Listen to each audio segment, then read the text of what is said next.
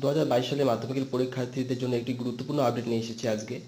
দু হাজার বাইশ সালে মাধ্যমিকে যে সমস্ত পরীক্ষার্থীরা তাদের খাতায় পিপিআর ও পিপিএস করেছিল, অর্থাৎ যে সমস্ত পরীক্ষার্থীদের রেজাল্ট বলপ্রত হয়নি এবং যে সমস্ত পরীক্ষার্থীরা পরীক্ষায় ফেল করেছিল, তারা তাদের খাতায় পিপিআর ও পিপিএস করেছিল। এই পিপিআর ও পিপিএস করার লাস্ট ডেট ছিল সতেরো ছয় দু হাজার বাইশ। মধ্যশিক্ষা পর্ষদ আজ একটি নোটিশ জারি করে এই পিপিআর ও পিপিএস এর রেজাল্ট কবে দেবে এবং ছাত্রছাত্রীরা কীভাবে অনলাইনে এই পরীক্ষার রেজাল্ট দেখতে পাবে এবং কবে থেকেই বা স্কুল থেকে সেই পিপিআর ও পিপিএস এর রেজাল্টের যে পূর্ণ মুদ্রিত মার্কশিট সেই পূর্ণ মুদ্রিত মার্কশিট ছাত্রছাত্রীরা পাবে এই সম্পর্কে একটি নোটিশ দিয়ে জানিয়ে দিয়েছে।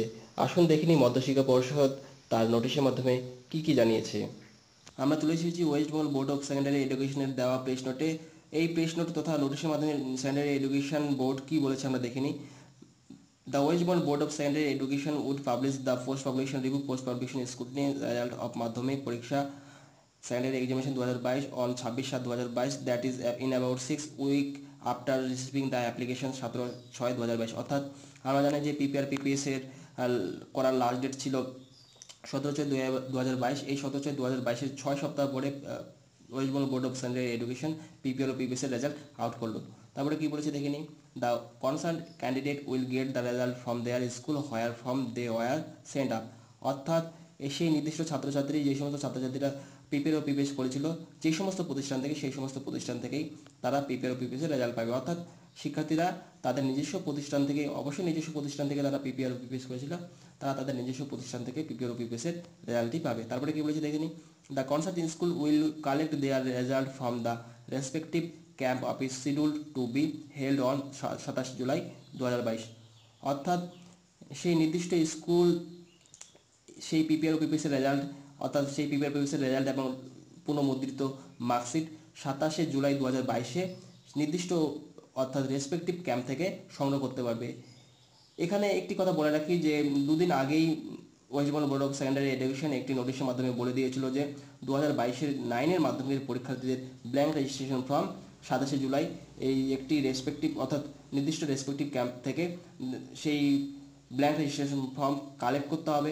অর্থাৎ সাতাশে জুলাই একই দিনে কোনো প্রতিষ্ঠান দু হাজার বাইশের মাধ্যমিক পরীক্ষার্থীদের প্রিপেয়ার ও পিপিসের রেজাল্টের পুনর্মুদ্রিত মার্কশিট এবং দু হাজার বাইশের নাইনের শিক্ষার্থীদের ব্ল্যাঙ্ক রেজিস্ট্রেশন ফর্ম কালেক্ট করতে পারবে।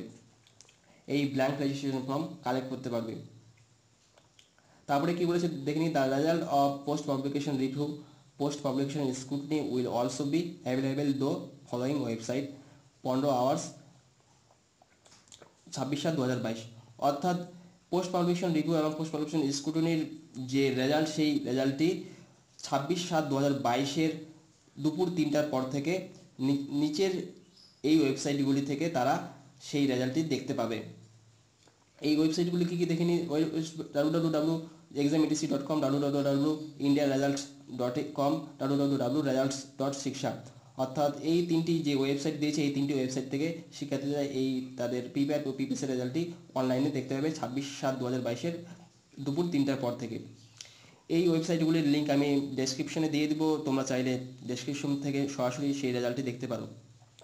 তো এই নোটিশের মাধ্যমে এটুকুই বলো যে, শিক্ষার্থীরা ছাব্বিশ সাত দু হাজার বাইশ দুপুর তিনটার পর থেকে নিম্নলিখিত ওয়েবসাইটগুলি থেকে তাদের রেজাল্ট দেখতে পাবে অনলাইনে এবং শিক্ষা প্রতিষ্ঠান সাতাশ জুলাই দু হাজার বাইশে রেসপেক্টিভ ক্যাম্প অফিস থেকে পিপিআর ও পিপিএসের পুনর্মুদ্রিত মার্কশিটগুলি কালেক্ট করতে পারবে তো বন্ধুরা, যদি ভিডিওটি ভালো লাগে, অবশ্যই ভিডিওটিকে লাইক করবে শেয়ার করবে এবং চ্যানেলটিতে নতুন হলে চ্যানেলটিকে সাবস্ক্রাইব করে রাখবে এবং পরবর্তীতে এই ধরনের নতুন নতুন ইনফরমেশনপূর্ণ ভিডিও সবার আগে দেখার জন্য নোটিফিকেশন বেল আইকনটিতে প্রেস করে রাখবেন।